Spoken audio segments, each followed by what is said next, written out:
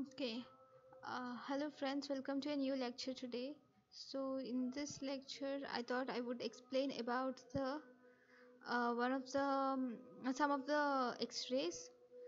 So in this x-ray the first x-ray which i would like to explain here is about the just a minute so this is an x-ray which uh, which uh, this is an x-ray of so let me just write what we should say.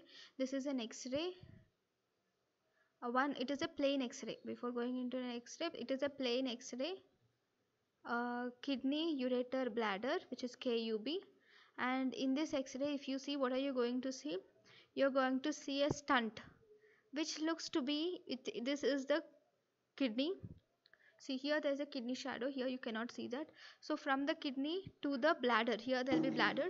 So there is a stent which is used. So this uh, stent is called as J stent if you see you should know some things why J stent is put. J stent can be put for uh, uh, whenever there is stones uh, kidney stones. In the treatment of kidney stones we can put a J stent so the main important thing important thing about J stent is in the J stent there are holes on either sides. Laterally if you see there are holes.